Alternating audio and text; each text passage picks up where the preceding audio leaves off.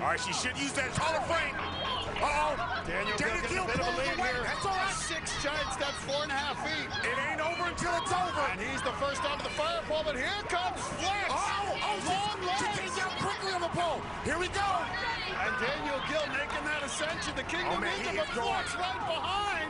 And we can see Look at this. Here comes Flex. Flex is right behind him. Gil on the dropping shells. And There we go. Just one Nice. shelf behind.